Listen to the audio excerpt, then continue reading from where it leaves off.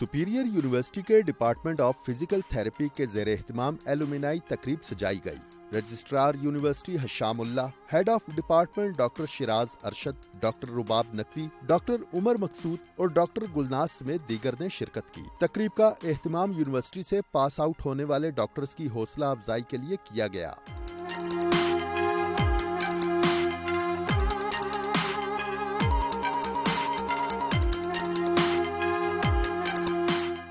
Doctors نے مختلف performances اور ٹیبلوز پیش کیے۔ تقریب میں جشن آزادی کی اہمیت کو بھی اجاگر کیا گیا۔ اس موقع پر ڈاکٹر رباب نقوی نے کہا کہ ایسے ایونٹس یونیورسٹی میں گزارے گئے لمحات کی یاد دلاتے ہیں۔ نہ بھولیں کہ ہم پاکستان میں رہ گئے لو یور ہوم لینڈ دوسرا یہ کہ ہم لوگوں کو سیلیبریٹ کرنا چاہیے تھرو گرین گرین پاکستان آج کل لوگوں بہت ان ہے وہ شوڈ سیلیبریٹ گرین اپنے پلانٹ کریں، اپنے گھر کے باہر جو بھی ایک ایک پودا ہے۔ آل پاکستان کو میرا یہ میسج ہے کہ وہ اپنے ایک ایک پودے کی حفاظت کریں کہ وہ سب الائیو ہیں۔ Head of department doctor Shiraz Arshad نے کہا کہ ہم سب کو پاکستان کی بہتری کے لیے کام کرنا چاہیے اور اپنے اندر وطن عزیز کی خدمت کا جذبہ پیدا کرنا چاہیے۔ اس ایونٹ کی تھیم ہم نے رکھی ہے جشن آزادی۔